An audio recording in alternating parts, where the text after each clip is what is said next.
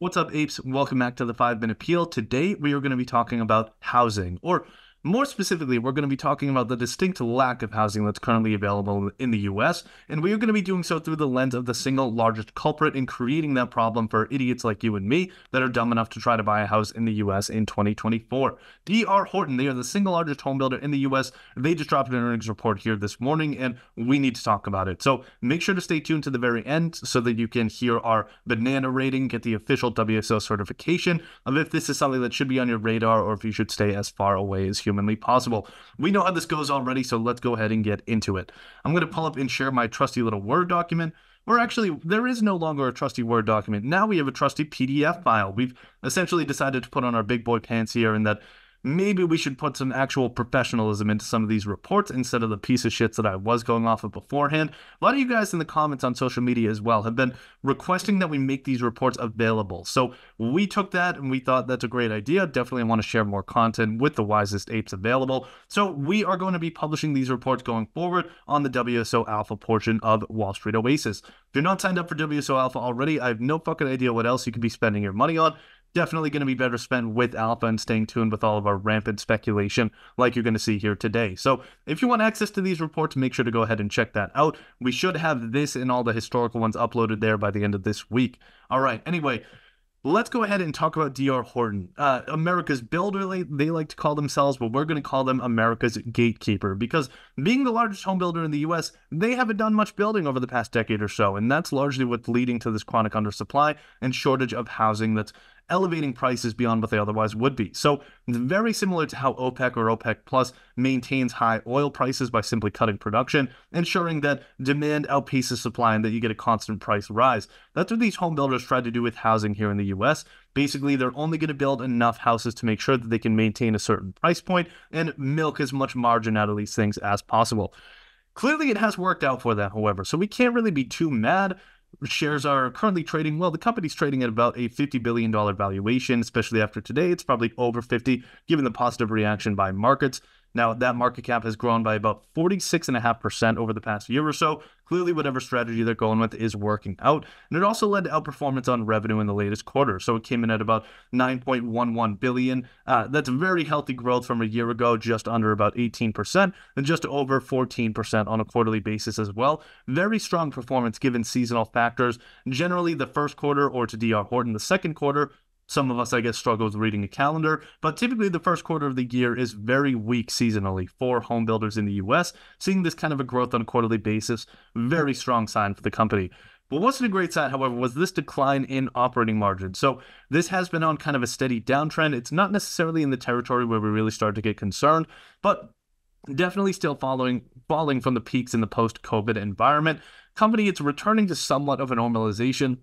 So this isn't something, and neither is the decline in net margin that immediately makes this thing's DOA as an investment opportunity, but it's definitely something that's going to be a little bit of a red flag on our radar. Net income did beat expectations, however, at about $1.183 billion for the quarter, much better than analysts were expecting. However, free cash flow does remain in negative territory. You know, somebody way smarter than me once said that uh, income is like food, whereas cash flow is like oxygen to a company.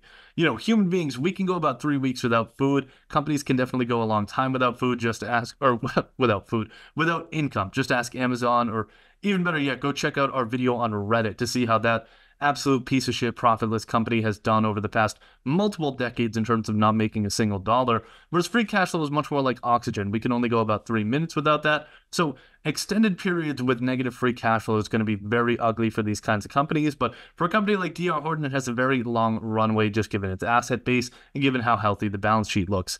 Now, let's get into the valuation piece forward price to earnings. This has been, uh, you know, not necessarily volatile. It's been relatively stable over the past couple of years, despite all the changes in the housing market. Currently trading at 10.1x for the next 12 months worth of earnings. Return on assets. This is an incredibly important metric for a company like this that's uh, very asset heavy because its inventory is made up of homes. So very asset heavy business model. We want to see quick asset turnover and quick return on assets. Seeing this decline, definitely not a good sign. And it's even worse when we factor in the fact that asset turnover just fell below one for the period at about 0.9x.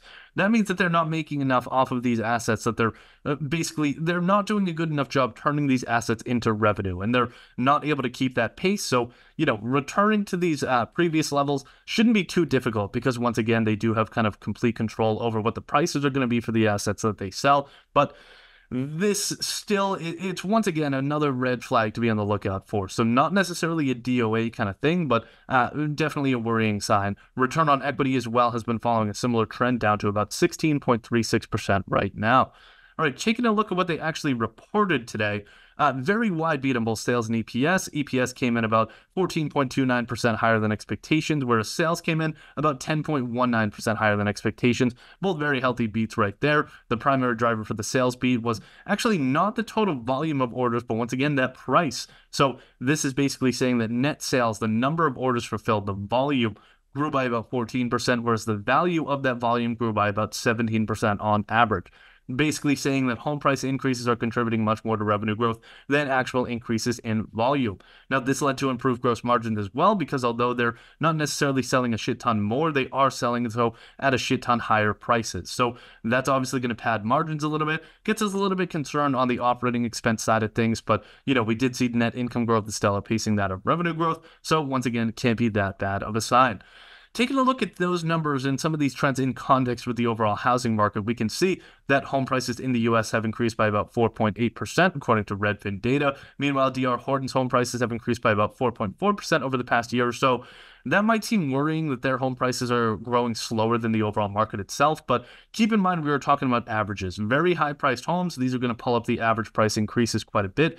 DR Horton being such a large player, they have their hands in every different kind of market. And a, much of the United States home sales are done below the two or three hundred thousand dollar price point, believe it or not. So DR Horton is very involved in those markets, although they do go up to about the million to a million and a half dollar range. It's these custom regional home builders that are going to be experiencing those very high priced homes, and that's going to be pulling up the average increase. So again, not a hugely concerning factor, but definitely not ideal either. It's also not ideal is the rising mortgage rates over the past year. Rising mortgage rates is going to destroy demand for new homes, but it's an interesting position to be in because typically when interest rates fall, home prices or really any asset that's linked to that interest rate are going to increase. But the current state of the US housing market is so fucked that declines in interest rates are going to lead to declines in mortgages, and that might get some of these old boomers that have been hoarding all the housing supply from us young people to actually decide, you know what, maybe my kids and grandkids do need a place to live because now I can go ahead and move into a smaller house and I'm not going to get fucked over on a 7.5% mortgage rate.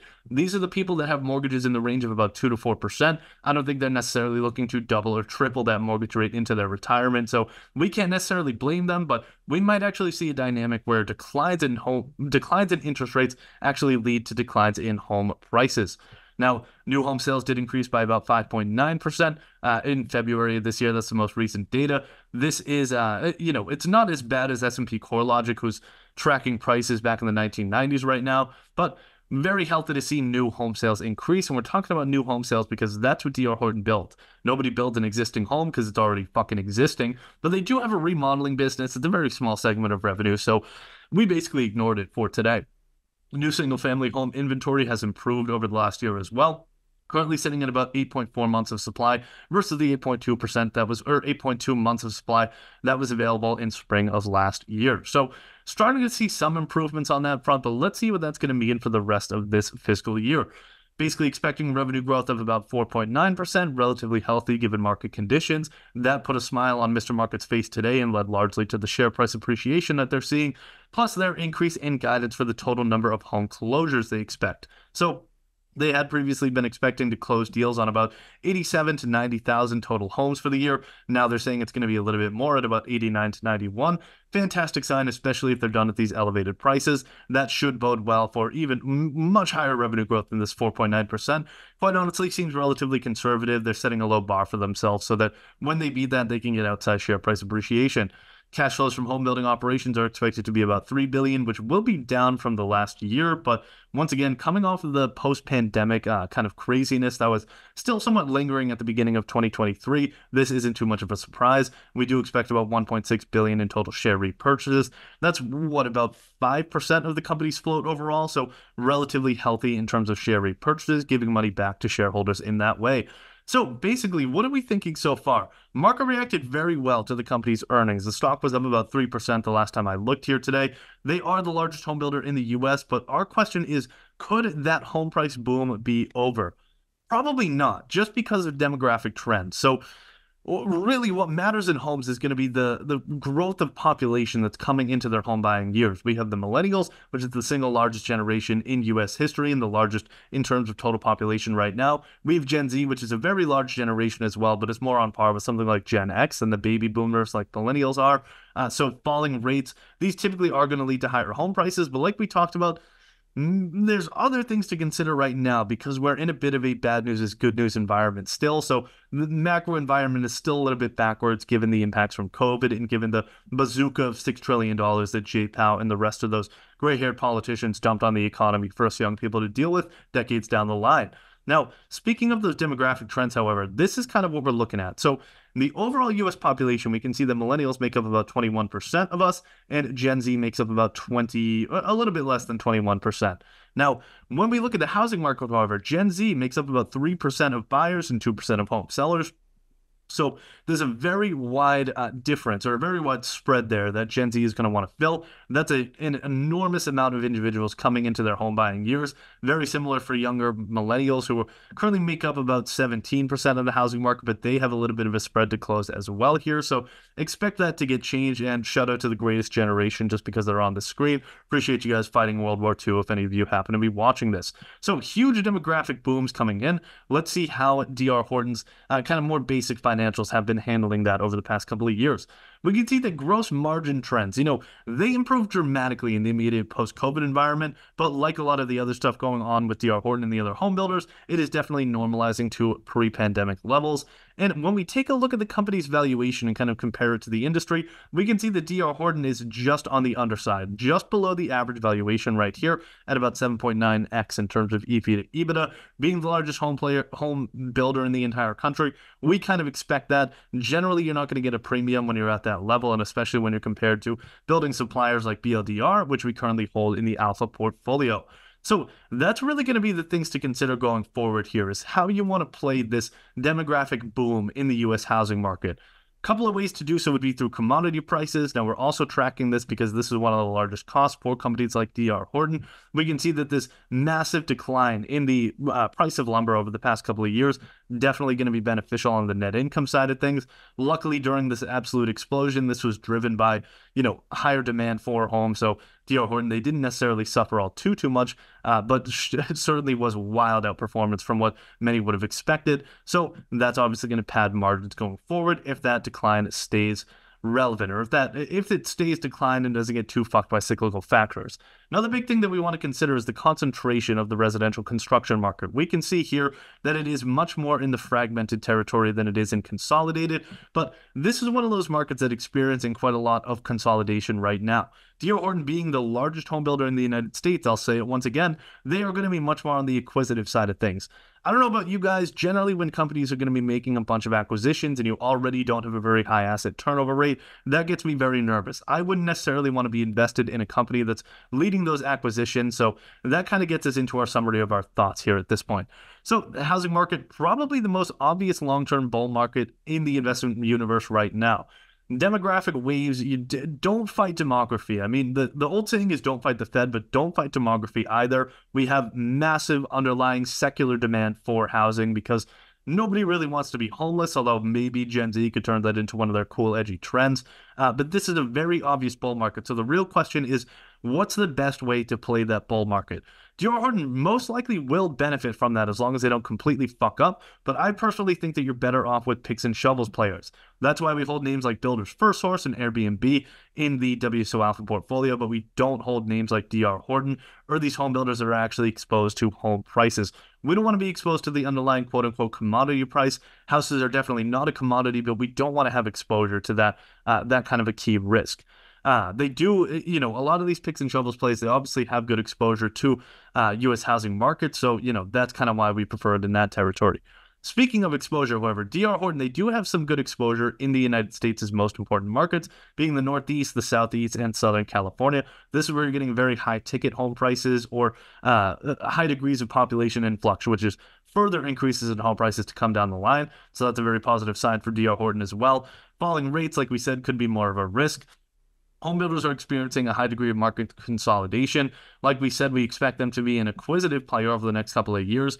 Risk to own in this case Personally, I would rather own the I would rather own the acquirees. I would much rather be invested in a small regional custom home builder that a name like DR Horton could benefit from because of the outsized exposure to higher ticket home prices. So that seems like the much better way to play it. But before we make any decisions, uh, we're definitely going to want to be on the lookout for the cost of materials, things like lumber going forward. That could dent margins and make this stock actually underperform the rest of the housing market uh, or the rest of you know kind of other picks and shovels players in the industry. Because if we see a spike in things like lumber again, that's only going to benefit players like Builders First Source that sell supplies and materials for housing rather than selling the houses themselves. Uh, home prices could fall on interest rates. Good news is this bad news. Really, the interest rate question is going to be one of the main ones, at least in the short to intermediate period. Uh, following acquisitions announced on by by large uh, home builders, we basically are going to want to be tracking any acquisitions that occur in the home building market right now. We don't necessarily expect DR Horton to be the first to start acquiring these homes. So if we start to see other players start to acquire other uh, home builders in the US, we're definitely going to be want to paying attention to what the multiple is uh, and all the other factors that are going on in that deal so that we can kind of assess what we can expect from DR Horton, how much they're going to overpay, how much dilution we shareholders can face. All right, so with all of that said here, what's going to be our rating? WSO's rating on the edge of their seats, I'm sure. And, you know, if you're a regular watcher of WSO Alpha, you can probably predict this one already. We'll give it three out of five bananas. Definitely a solid investment if you're a boomer and you don't want to take any risk at all. But for my liking, this thing is just a little bit too safe.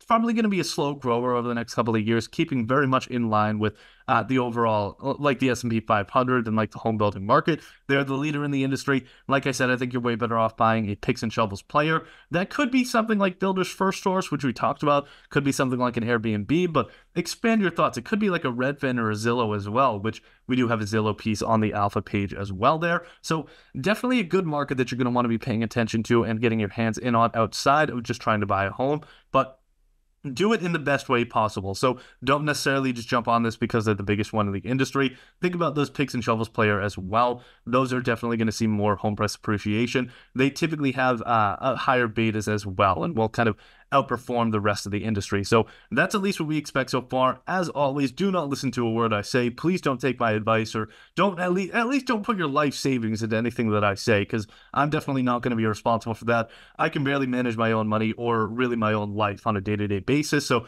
please do not listen to me. This is not financial advice once again, but of course, apes, thanks for tuning in. Like I said, drop a comment down below letting us know which companies and which other events you want to see us cover next. For now, happy investing, happy trading, and we'll see you in the next one. Bye now.